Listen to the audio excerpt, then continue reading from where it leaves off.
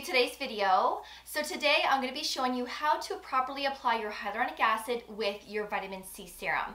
Now I get a lot of questions here on YouTube as well as TikTok asking how do you use the two together, what is the proper layering, which one goes first, and how can we do this where we get the benefits from each product. So I'm going to be demonstrating that in today's video, so let's get right into it, but don't forget to subscribe and ring that notification bell, and also don't forget to give this video a big thumbs up as well. So this is going to be a very quick video today. I'm going to get right to the point and show you exactly how to use the two products together.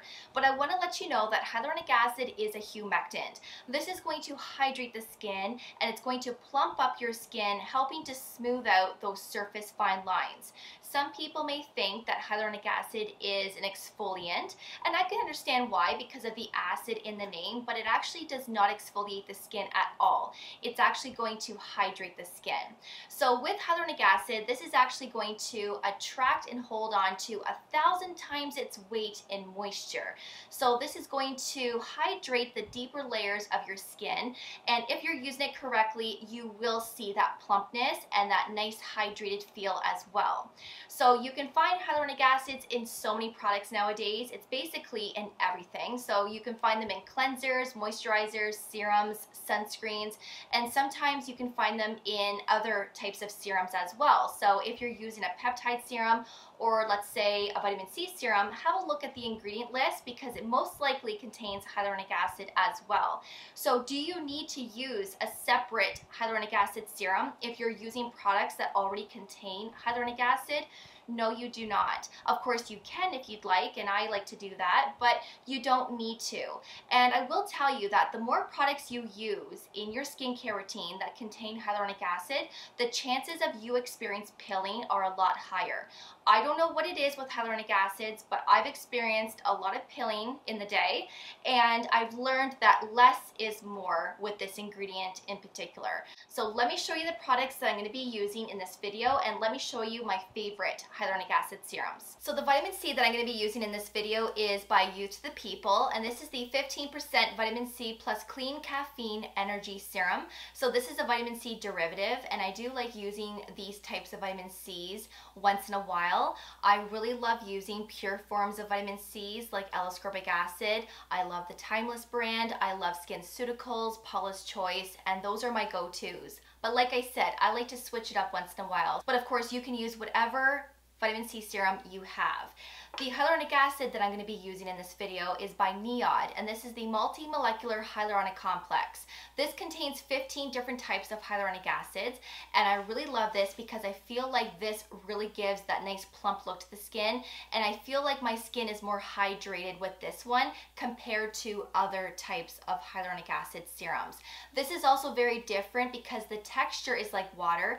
It's very thin, your skin absorbs it really nicely, and I never ever experience experience with this product in particular, which is why, again, I love this one so much. I also really love the Inkey List hyaluronic acid, and I also love the Ordinary hyaluronic acid, 2% plus B5. These are great options as well. They're really affordable and effective. So when you're applying your vitamin C with your hyaluronic acid, it's best to apply your vitamin C first after cleansing, and then apply your hyaluronic acid afterwards, and then of course, your remaining skincare products. A lot of dermatologists dermatologist will recommend this method as well. Now, if you've been applying your hyaluronic acid before your vitamin C, don't stress about it. That method of application is okay as well, and I have done this many, many times before, and I still achieved great results from the active as well as the hydration and the plumpness from the hyaluronic acid. But again, it's best to use your active first for better absorption, and you may see better results by doing it this way as well. So if you're sensitive to vitamin C, or you have sensitive skin, then you can apply your vitamin C right now onto dry skin. But I'm actually going to be applying it to damp skin as I always apply my vitamin C's to skin that is damp for better absorption. So I'm actually gonna use the Caudalie Grape Water. I actually recently purchased this as I really wanted something that I could use in between my serums if I needed to add some moisture for better absorption. And this does a very good job. Of course, you could just spritz your face with water right now if you want to, but I really like this because it really does help to soothe and moisturize the skin as well. And this is also great if you have sensitive skin. So I'm going to spritz this all over my face. and my neck, wherever I apply vitamin C and of course hyaluronic acid. And I just let that absorb a little bit. And then I'm gonna go in with my vitamin C. So I'm just gonna do, why isn't it coming out? There we go. I'm gonna do three pumps.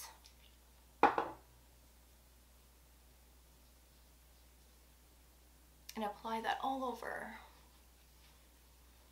Now this vitamin C is lovely. I have talked about this before.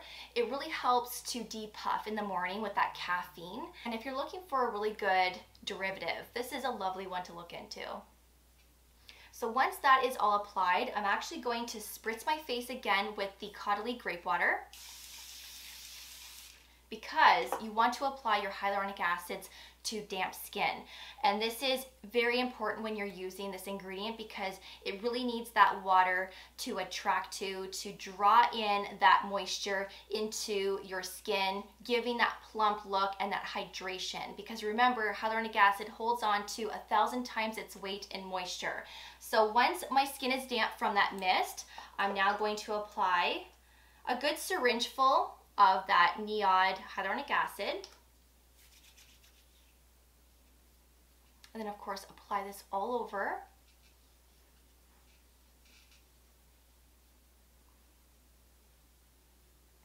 Now, if you don't want to purchase that Caudalie water, of course, once you've applied your vitamin C, you can spritz your face with a toner if you want to, and then of course, go in with your hyaluronic acid afterwards onto damp skin.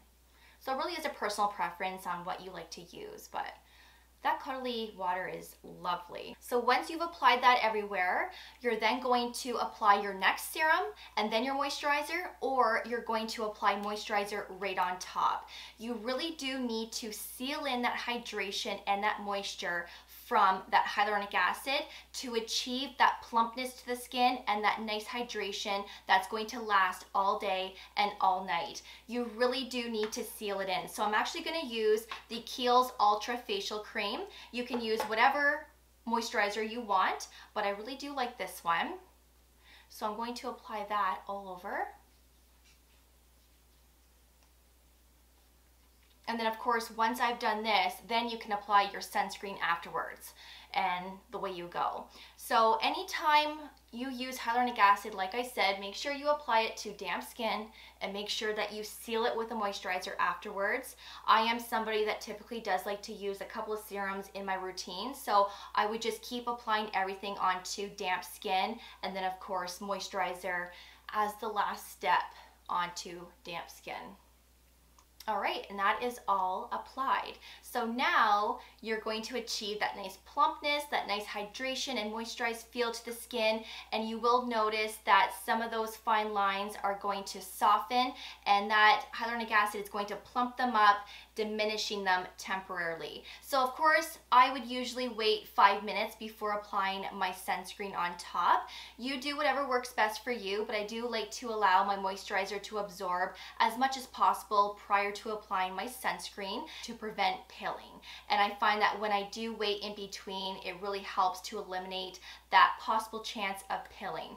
So that is how you apply hyaluronic acid serums. Now, if you're someone that doesn't want to use a separate hyaluronic acid serum because maybe you have too many steps in your skincare routine or you personally don't like using serums that contain hyaluronic acid, then I would recommend using the Isntree Hyaluronic Moist Cream. This contains five different types of hyaluronic acids, and sometimes I will pair this up with my hyaluronic acid serum.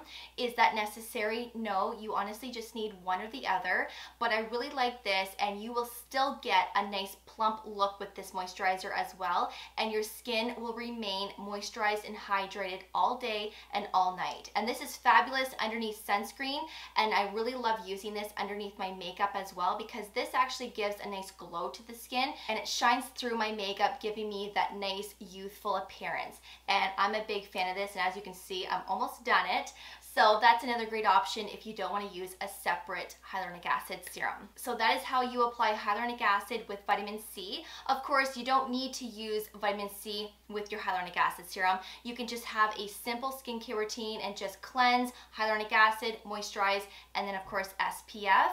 Whatever works for you, you keep being you and do what you enjoy using. I will link everything that I used in today's video below for you for your reference. Thank you so much for watching. I really do appreciate it. And of course, I will see you all in the next one. So take care and I will see you guys then. Bye guys.